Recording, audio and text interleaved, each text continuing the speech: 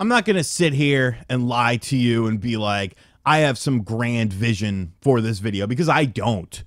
I don't. I have no idea where this video is going to take me. These are things I should probably talk about with my therapist, but she doesn't know about games and the gaming industry. And I want to talk about this stuff that bothers me. And I figured I, I would just make a video on this because, yes, modern gaming sucks. Not all of it. There are good facets of modern gaming. You got your pretty graphics, you got your sometimes interesting games, but overall, modern gaming it, it kind of sucks. And I feel like a lot of people just downplay this. There's some other stuff I want to complain about as well. Maybe I'll make a coherent video.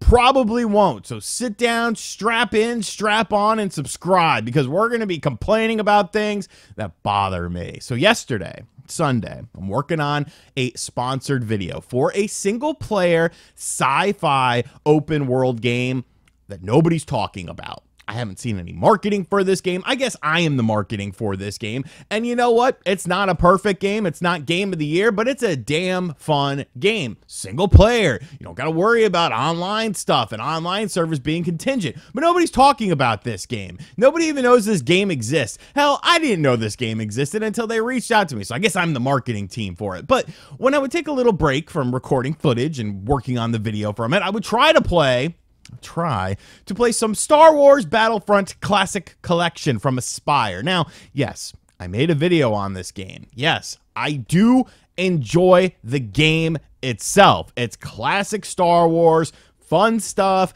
classic iconic characters and classic locations. There's a bunch of different styles of combat that you can engage in. This game came out almost a week ago now. And uh, I didn't play, I didn't get an early copy of the game. All those reviewers that reviewed the game, they reviewed the game on offline stuff. And to me, this is an online game. An online game from 20 or 2004 and 2005, 20 years ago. Okay, 20 years ago. And you know what? The online servers are still messed up. If anything, I will say that the online servers today are worse than they were when I played the game on Tuesday and Wednesday and made my video. What are you doing, Aspyr? What are you why do you exist? Because it feels like it's either going to be a home run with you or an absolute crapshoot with you. Like Tomb Raider was was mad good, but for some reason, I guess you put your F team on the online servers of this game, and you put out some generic statement like, "Oh, we hear your feedback, and we're going to be working on things to improve the service." Why are you not working on this stuff all the time? Oh, RGT. You don't want to crunch them. You don't want to make them work extra if they have to do. You are the one who released the game in this state. You are the one who released the servers in this state that are getting worse by the day. I I I am of the mindset that the servers are getting worse by the day. And it's not because people are playing it, because people are dropping like flies. For some reason, the stability is just way worse with these servers than they were a week ago when this game came out, when it was probably at its peak. And people could look past that sort of stuff when it's at its peak because you're like, okay, you know, a lot of people are checking out this game. But no, no, the servers are getting worse. Sometimes you fall off the map, you can't spawn, you can only pick certain levels, the, the servers don't activate or whatever. What the hell is this? And then I'm like, okay. You know, I'm all worked up over this. I'm all worked up over a game that somehow ran better in 2005 online on the PlayStation 2 and Xbox original online service than it does in the modern era. Never mind the fact that you had the Dreamcast with games like Unreal working fine. Never mind that, but hey, you know what? It's cool. It's cool. I'm going to play some WWE 2K24 with the homies. Another game that I made a video on. What did I say in that video? The online servers were still sus because it seems like they're using the same online infrastructure of WWE 2K23. And WWE 2K23's online system sucked. The lobbies suck, inviting your friends sucks, the stability sucks, the, the dropping of stuff sucked. It sucked in that game. And I, you would figure you would figure once again. Okay when the game first came out i got the early copy i got the hundred dollar copy and i made i made nate and uh, john spawnwave buy it. So this is kind of my revenge on john for being a cheap ass and never paying me for anything. Um I made them buy it so we could all play it together. And it was fine. You know, there was some issues here and there. But once again, much like Star Wars, I feel like this game has gotten substantially worse because at 9:30 I told Nate to get online and we were going to play. He didn't get on until 9:31, but he got on. So at 9:31, we start playing. Between 9:31 and 10:15 Eastern Time, we completed one match. One match. We're doing online stuff. 2v2 tornado tag extreme rules. So it was me and nate. We only needed two people in the in the lobby to fill out the lobby and we completed one match. And i know what you're saying yourself rgt it's just people quitting it's just people quitting. You know, they're leaving mid match because maybe you're roughing them up. But no, you're wrong. Because the one freaking match that we did complete is where one of the people quit. Everything else, server issue, lobby issue, server issue, lobby issue. We detected an issue with the with, with the server. We detected an issue with the game. We completed one match in 45 minutes. Then stupid SpawnWave gets on because he's done making his clickbait video for the day. Persona 6 on the Switch 2. Who cares? Who cares? We don't even have the Switch 2 announced yet. Hate that man. So he gets on. And between 10 15 and 11 o'clock p.m. Eastern Time, we completed zero matches. And it wasn't because of people quitting, it was because of server issues. At this point in time, I quit. I said, You two can go to hell this game can go to hell. I'm not playing it anymore. And I started playing some some weird train sim that's on Xbox Game Pass. That's another thing. We're playing this game on Xbox. Xbox people ain't buying games. These servers should be immaculate. But no, they're absolute dog shit.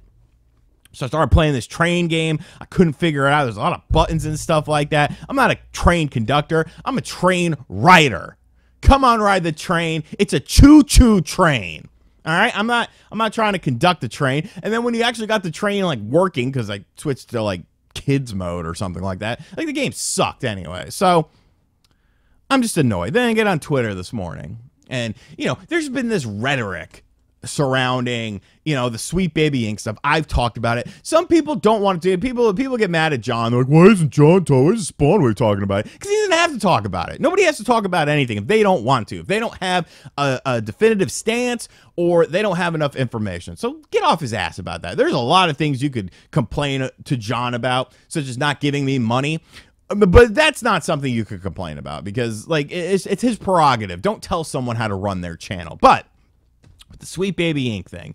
The Defense Force still going. It's still all the same industry people, the the journalists, the people that are at GDC for some reason who've never developed a game or, or anything like that. All those people are still going up to bat for Sweet Baby Inc and defending them with their life force for whatever reason. But there's been an interesting discussion that popped up online about this whole thing. And this is something that's been going on for a couple days now with a lot of people of the Defense Force saying that, well, if Samus was revealed today in the modern 2024 to be a woman at the end of the game, like she is in Metroid on the NES, people would call that woke.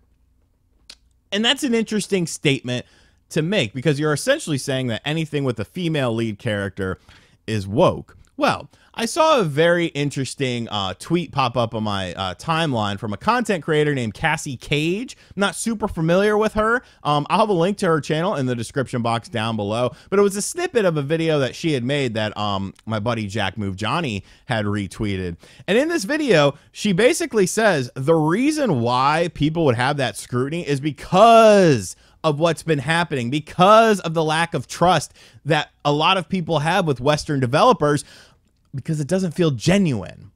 The, these things feel like they're changed from the original story on a whim just to add some little additional, you know, representation in it. Whereas Japanese companies, they don't really have that problem.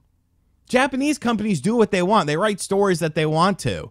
You know, nobody said that Barret when Final Fantasy VII dropped, nobody was like, Barret a black man in this video game. Like nobody cared. They were like, okay, cool. Who's this guy? What's his story? Oh, he's got a really interesting story. This is awesome. I love this guy. Nobody cared about the color of his skin. Like that's the difference.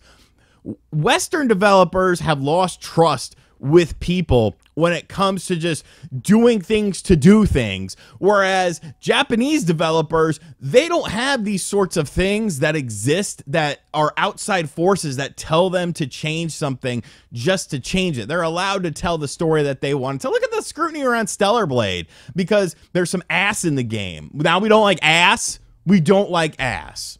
All y'all are out here eating ass, being proud of it, but oh, ass in a video game. That's too much for me. Like, don't play the game. Not everything is for you.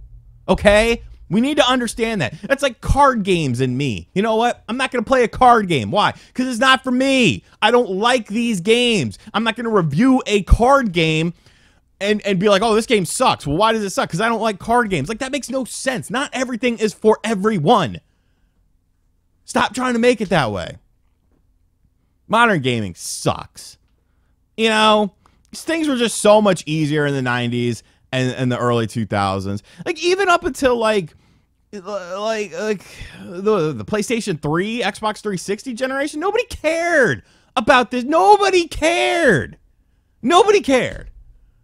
But now you have worse online servers than from the Xbox 360 era. You have you have all this weird stuff happening just to happen where if you question it, all of a sudden you're your public enemy number one. You have these journalists with too much power, these websites with too much power influencing the video game industry. The whole video game industry is run by one man, freaking Geoff Keighley, and everyone's turning their back on Geoff Keighley, but they're sucking his nuts whenever he's like, "Oh, you guys want to come to Summer Game Fest? Geoff Keighley, turn heel."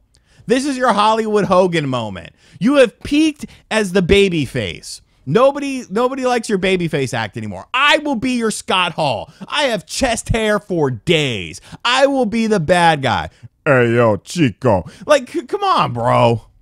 Come to the dark side. It's fun. We're normal. God damn, this video is all over. Oh, uh, yeah. I hope you enjoyed this video. I honestly feel a lot better now that I've gotten all of this off my chest. Um, it's kind of therapeutic.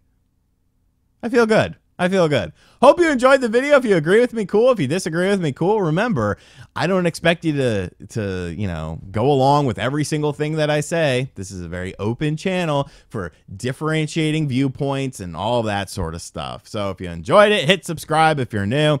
Like the video, dislike the video. I don't really care. And as always, I'll catch you guys on the next video. Later.